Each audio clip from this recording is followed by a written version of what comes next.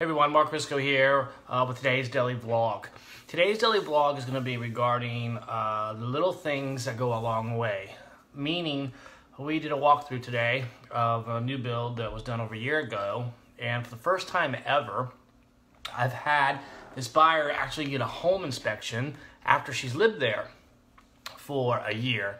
As it's her first home, um, she was using a newer realtor. The newer realtor told her to get a home inspection, and I, and I laughed because it, it, just never heard it before.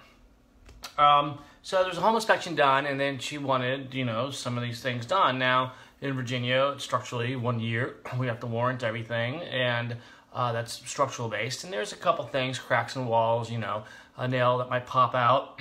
but while we were there, she was going through this laundry list of things that we don't have to cover um, contractually per the law, but some of them we told her we'd take care of.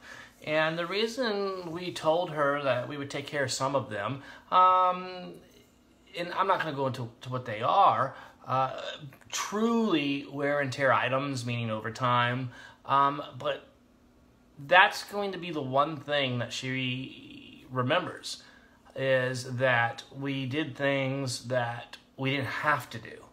And doing the small things, the little things that you don't have to do, is what's going to go the longest uh, in your business. It's going to go the longest way in, in life. Because now she will tell everybody exactly what we did that we didn't have to do. And A, it keeps our good reputation. B, it keeps our excellent name. And C, hopefully it'll give us another client down the road. So just do the little things that you don't have to do, as they really do go a long way. Keep following me at investorsformula.com, marchrisko.com, coasttocoastpropertycorp.com, Facebook, Twitter, Instagram. Go to the Investors Formula's Facebook page, like it. See you soon.